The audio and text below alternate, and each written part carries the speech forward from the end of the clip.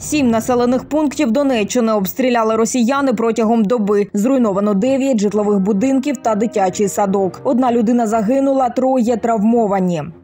Дружини, мами, доньки військовополонених разом вишили рушник молитву. Його передадуть до Ватикану папі римському, аби посприяв у поверненні бранців додому.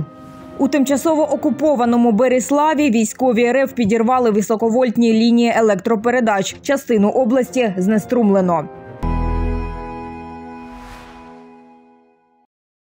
П'ять разів армія РФ відкривала вогонь по Бахмуту цієї доби. У місці немає жодних комунікацій. Там наразі залишається близько 15 тисяч місцевих жителів. Вчора серед цивільних двоє поранених, один загиблий, руйнування п'яти приватних будинків, влучання багатоповерховий будинок, приватне підприємство, адмінбудівля також постраждала. Кожен день руйнують і обстріли тривають і вдень, і вночі.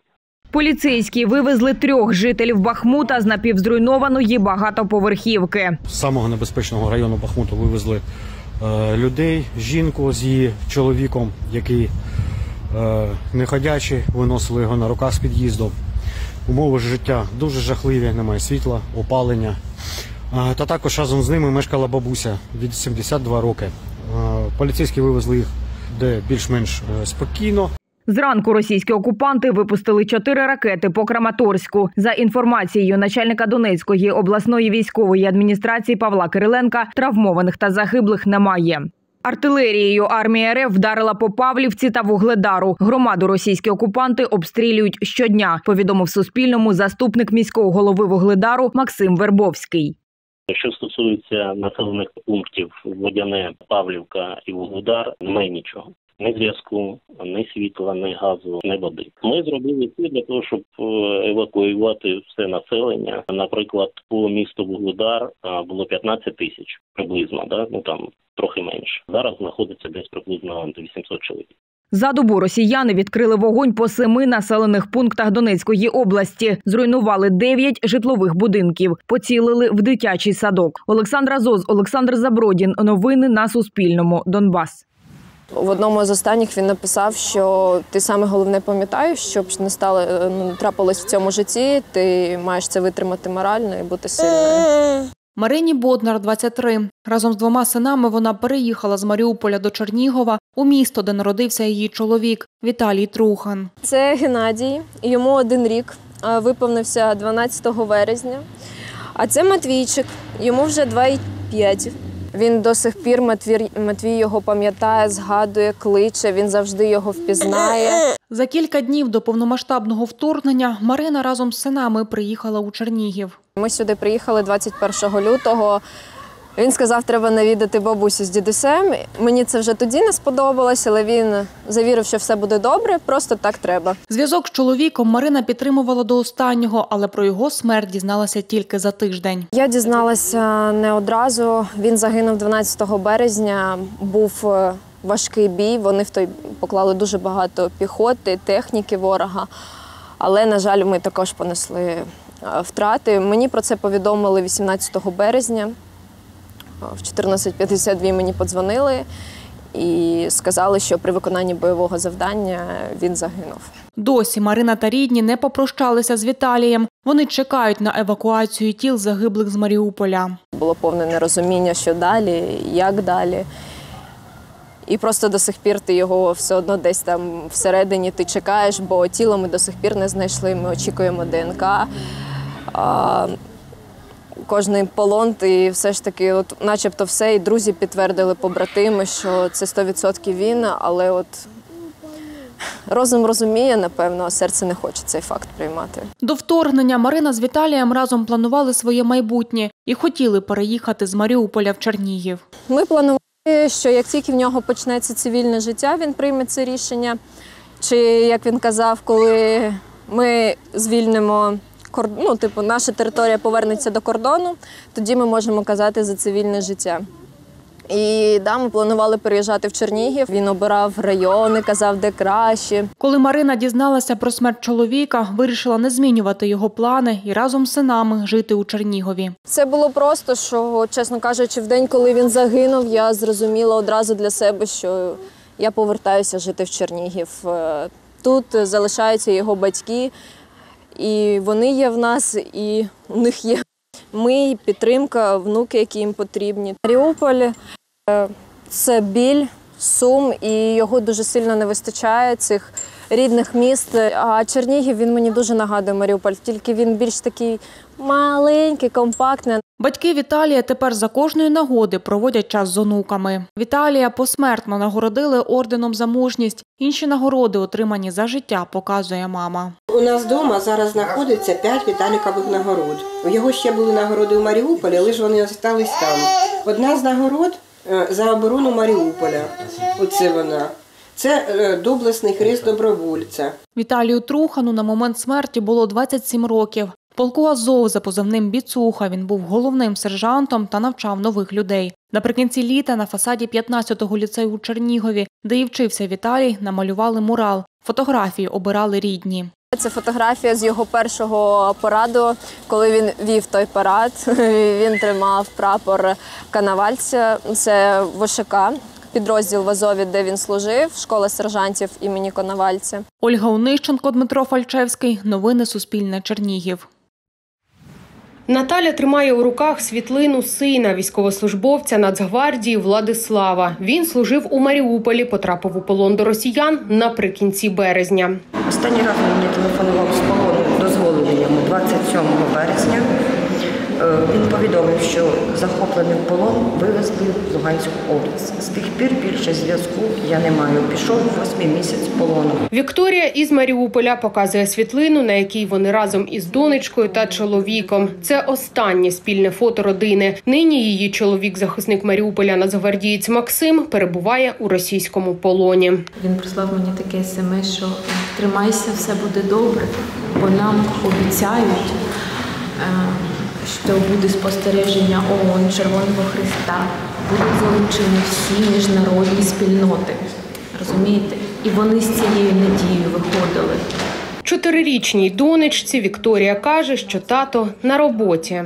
Вона каже, чому так довго? Я ж дуже чекаю. А він мене ще любить. Я говорю, звісно, любить, донечко, звісно, любить. Просто тато не може, не може зараз повернутися до тебе. Щоб привернути увагу до проблем військовополонених, їхні матері, дружини, сестри та доньки організували акцію. Разом вишивали рушник. Кожна учасниця акції мала свою ділянку роботи. На полотні двома кольорами, червоним та чорним, зобразили фігурки, які тримаються за руки. Це орнамент подільського рушника. Старовинними домотками полотно не вибілене. Ми його навмисно взяли не вибіленим, щоб передати це також наш настрій, наше світовідчуття, що воно у нас навіть не біле, не ясне. У нас затьмарене обтяжене. Назвали полотно рушник молитва. Його довжина 2 метри 70 сантиметрів, ширина 46 сантиметрів. Цей рушник рідні полонених бійців передадуть до Ватикану папі римському. Разом з ним листа з проханням посприяти у поверненні українських воїнів додому. Юлія Слабінська, Вікторія Алєксєєва. Новини на Суспільному. Донбас. На Херсонщині 7 листопада близько 9.30 підрозділ Херсонської зенітної ракетної бригади повітряного командування Південь збив російський штурмовик Су-25. За даними Генштабу Збройних сил України, противник зосереджує зусилля на стримування дії сил оборони і намагається отримати тимчасово захоплені території. За добу російська авіація здійснила понад 20 вильотів, продовжують вести повітряну розвідку. В Херсоні окупанти, перевдягнуті у цивільний одяг, займають приміщення мирних громадян та укріплюють всередині позиції для ведення вуличних боїв.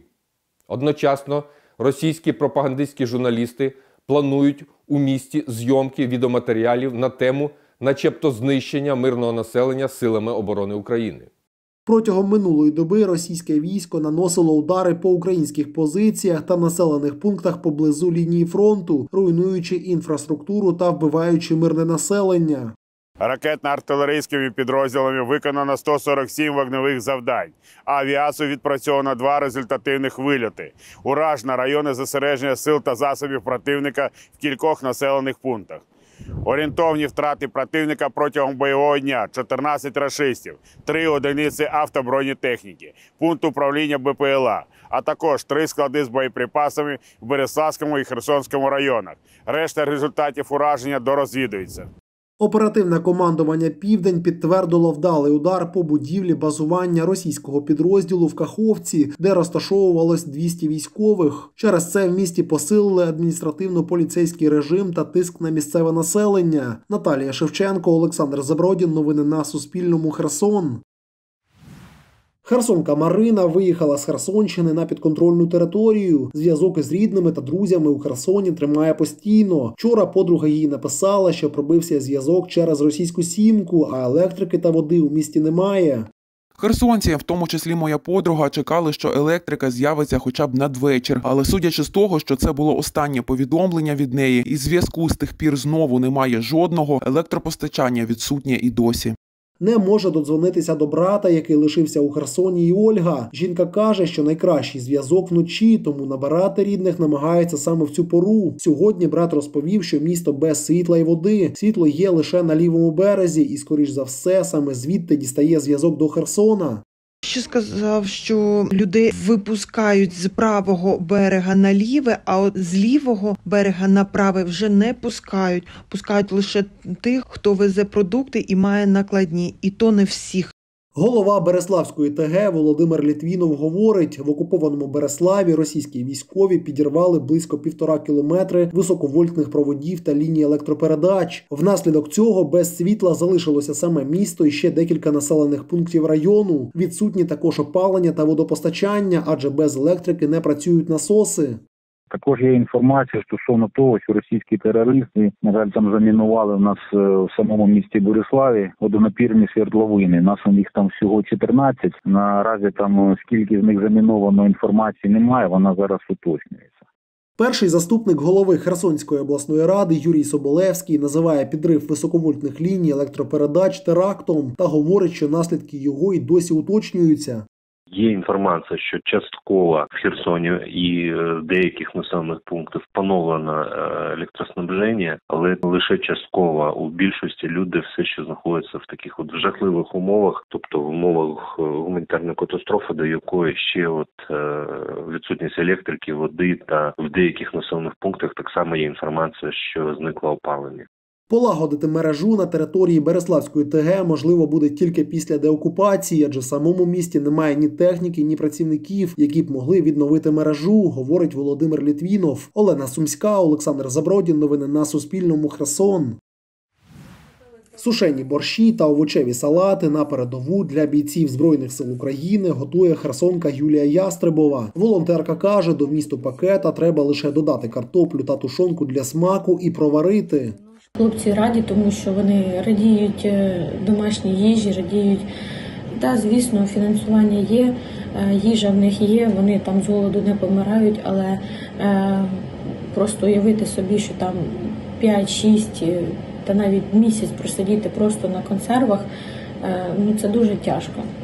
До війни у Юлії був у Херсоні власний бренд, готувала солодкі сушені чіпси з кавунів і пастилу з фруктів, корисні перекуси для дітей і спортсменів. За словами волонтерки, сушарки лишилися вдома. Дівчина говорить, в Івано-Франківську зупинилася через кота, який захворів через стрес від вибухів.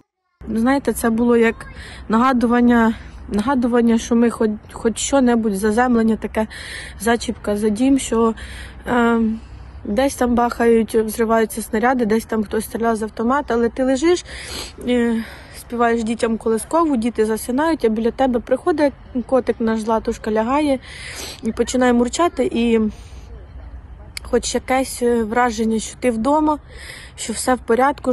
Юлія вирішила, що має бути корисно, і згадала про сушені страви. За власні кошти та донати придбала сушарку. Тому що треба разом об'єднуватись і кормити, годувати, показувати, що ми е, тут думаємо про них, що ми не байдужі і вдячні їм за те, що вони е, боронять нас і думають про нас. Юлія говорить, порізані руки та робота до третьої ранку варті того, щоб підтримати наших бійців. Марина Круглова, Олександр Забродін. Новини на Суспільному. Херсон.